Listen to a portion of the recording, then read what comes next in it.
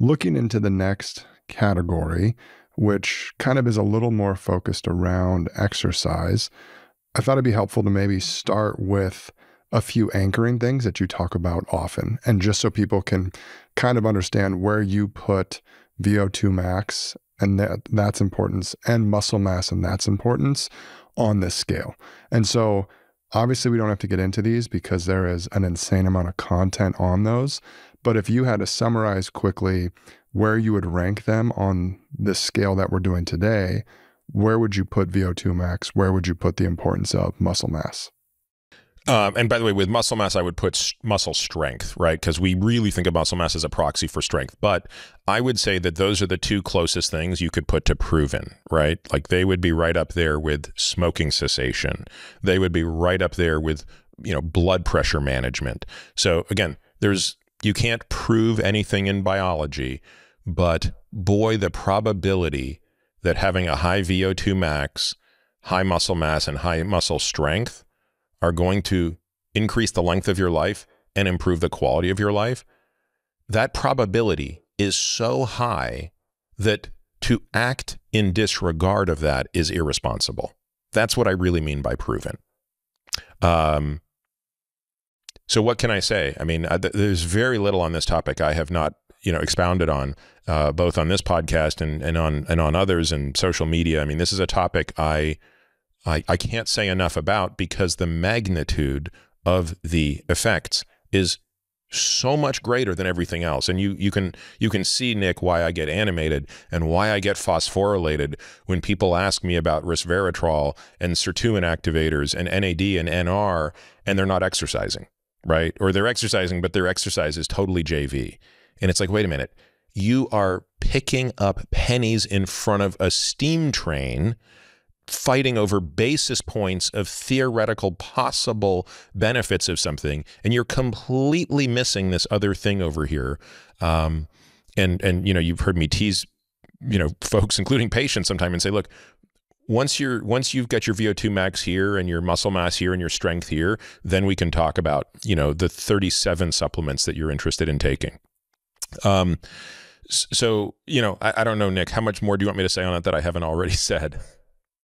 No, I think that's good. And we'll link to it in the show notes to all the other places. I think sometimes it's helpful for people, or at least even myself included, is, you know, understanding where these things rank and how they compare to others, right? Which you hit a really important point, which I've heard you say over and over and over internal, external, which is if you're worried about taking all these geroprotective drugs and you want to take them, that's your prerogative. But if you think that's going to save you from needing to exercise, needing to have muscle strength, needing to have a higher VO2 max, it maybe is not the best risk mitigation strategy.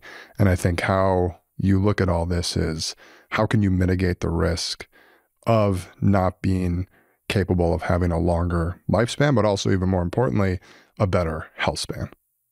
Yep. I, I do say a lot that even if exercise had no effect on lifespan, so it was lifespan neutral, or be more dramatic, even if exercise slightly shortened your lifespan by a year, um, it's undoubtedly worth it for the improvement in the quality of your life, both physically and cognitively, and in many cases emotionally. I mean, we that's a much harder one to quantify.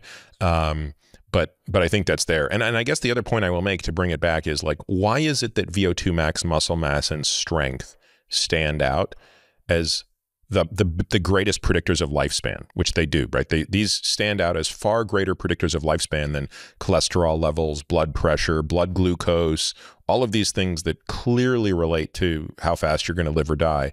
Um, even smoking is a is a worse predictor of lifespan um, than your fitness level. Uh, and, and the reason I think is just it speaks to how potent exercise is as a tool to impact the cellular processes of aging.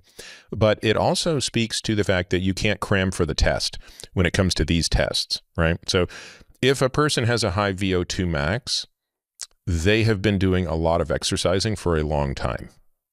That doesn't have to mean their whole life, but they didn't just decide a you know a week ago oh I, am you know, I'm, I'm kind of unfit, but I'm, I'm going to start exercising and I'm going to get fit. No, no, no, no. If, if your if your VO2 max is in the top two or three percent of your age group, you've been at this for a while. And therefore, the VO2 max measurement is really an integration of work that you have done. And the same is true for muscle mass and more importantly, for muscle strength. So these things like why is, you know, grip strength always comes up as this incredible predictor of mortality?